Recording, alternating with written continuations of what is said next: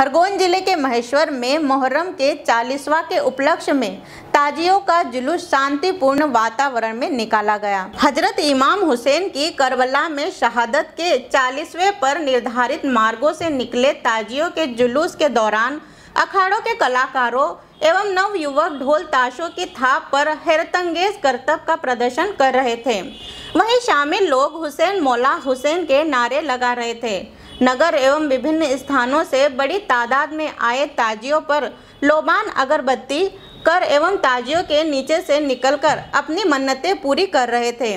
मन्नत के ताजे भी निकाले गए एवं बाज़ार चौक होते हुए नर्मदा जी में सभी ताजियों का विसर्जन किया गया।